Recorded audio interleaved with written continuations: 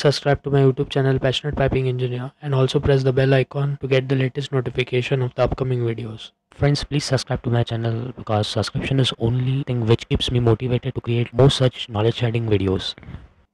Hello friends, welcome to my YouTube channel Passionate Piping Engineer. Previous three parts of the pipe fitting videos, we have seen pipe fitting used to change the direction, to take a turn and to reduce the line size. If you have missed any of the three parts of the pipe fitting video series, I would recommend you to check those out as I have shared the link in the description box below. Please go through all the previous parts. Now as this is the fourth video of the pipe fitting video series, the topic of our video is pipe fitting used to connect two small bore lines of the same sizes.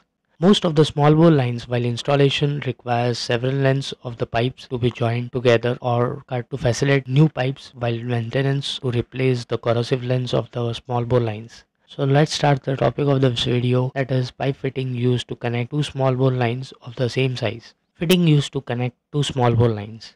First we will see the classification of the fitting used to connect the two small bore lines.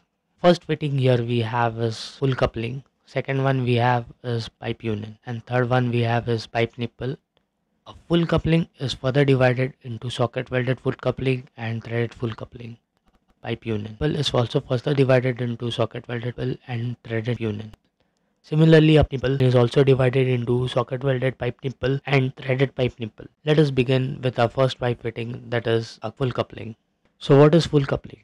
A full coupling which is also known as a pipe coupler plays an important role in joining two small bore pipe to pipe, pipe to nipple or a nipple to swedge of the same size.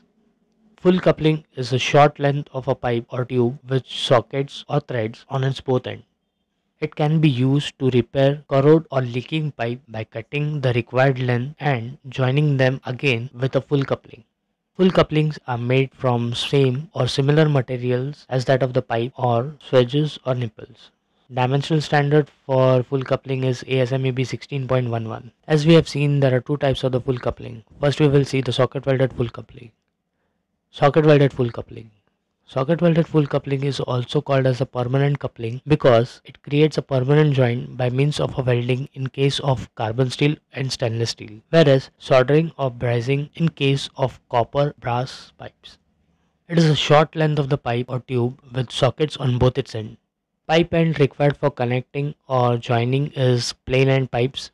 Socket welded full couplings are installed where no future changes in the piping systems are required.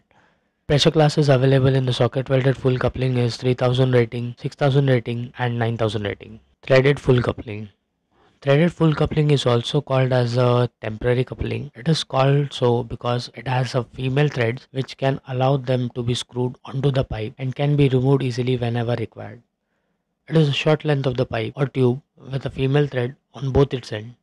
Pipe end required for connecting or joining is male threaded end pipes. They are usually sealed by a Teflon tape.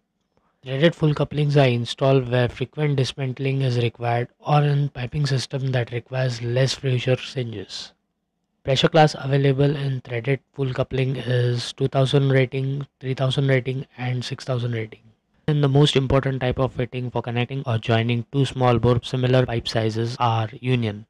A pipe union is a semi-permanent and one type of a secured connection between two small bore pipes. Unions are similar to full coupling but they are easier to take apart and they also allow pipes of different metals to connect safely. There are three parts in the pipe union. First is a nut, second is a female end and third is a male end which are interconnected pieces as shown in the figure. Male and the female end are joined together with a nut which is used to provide necessary pressure to seal the joint. Unions are used in the piping system where dismantling of the two pipes are very often as an alternative to flange joint. The main advantage of the union joint is they are economical, easy to install and for maintenance of the joint than flange joints available in variety of metals such as stainless steel, cast iron, carbon steel, etc. Applications of unions is mainly in the low pressure process piping system such as fire protection system, wastewater, etc. Dimensional standard for unions are ASME B 16.11. Types of union fitting as per the method of installation. Socket welded union. Socket welded union has two internal threads and a center piece which are drawn the ends together when rotated. Method of joining pipe with a union is similar as in the case of the coupling. That is, a socket welded full coupling or a coupler is coupled with a pipe by means of a socket welding. To minimize the wrapping of the seat, socket welded union should be tightly screwed before ends are welded. The weld type used here is fillet weld. Pressure classes or ratings in the socket welded unions are 3000 rating, 6000 rating and 9000 rating. Threaded union. Threaded union also has a two integral threads and a centerpiece which are drawn to end together when rotated. The method of joining pipes and dismantling with the threaded union is much easier than in the case of the threaded coupling because the two pieces are not screwed into one another, they are screwed into the third piece. So when one pipe needs to come out apart from the other, the union simply screws onto one pipe completely so the other pipe may be removed on its own without unscrewing the other pipes in the system. A tape is used to seal the joint with the pipes. In some cases, apart from screwing with the pipes, they are fillet welded to make the joint leak proof only in the non-hazardous area and when frequent dismantling is not required.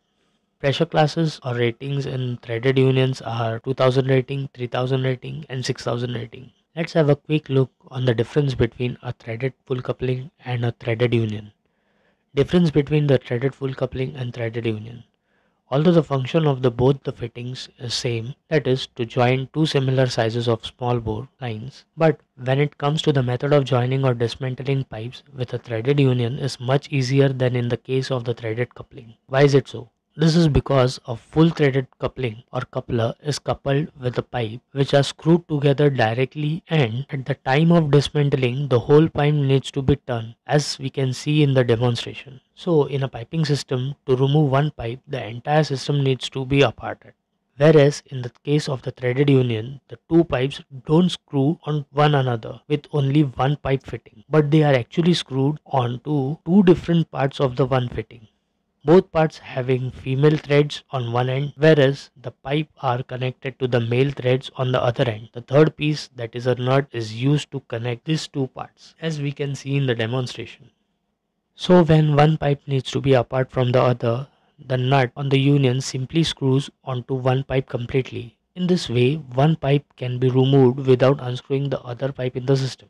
Third and the last pipe of the fitting for connecting two small bore similar pipe sizes are nipples.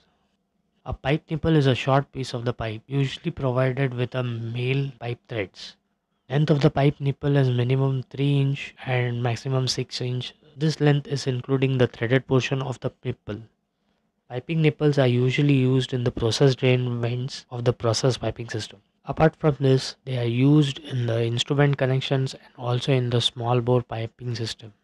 Materials of the piping nipples are similar to that of the pipe and the fitting by which they are connected. Dimensional standard for pipe nipples are ASME B 16.11. Let us see type of the nipples fitting as per the end preparation. Pipe nipples are available in the variety of end combinations such as PBE that is plain both ends, TBE that is threaded both ends, BOE or POE that is bevel one end or plain one end BOE or TOE that is bevel one end or threaded one end POE or TOE that is plain one end or threaded one end. Socket welded nipples. In socket welded nipples three configurations are available as shown in the figure. First figure shows PBE that is plain both end. Second one shows the POE or TOE plain one end and threaded one end and third configuration shows BOE or POE that is bevel one end or plain one end. Pipe nipples having plain both ends with no threads and is used to fit a socket welded fitting on one end and the socket welded threaded and butt welded fitting on the other end. Threaded nipple. In threaded nipples also three configurations are available as shown in the figure. The first figure shows TBE that is threaded both ends Second figure shows POE or TOE that is plain one end or threaded one end and the third figure shows BOE or TOE that is bevel one end or threaded one end. Threaded pipe nipples have male thread ends on both the ends or on one end with bevel or plain both ends on the other end used to fit a female threaded, socket welded and butt welded fitting on the other end. I hope you have understood the topic of this video. Thanks for watching this video and if you like the content of my video, please do not forget to hit the like button and share it with your friends. Don't forget to hit the subscribe button and subscribe to my channel Passionate Piping Engineer. Also press the bell icon below to get the latest notification of our upcoming videos. Till then stay tuned and take care.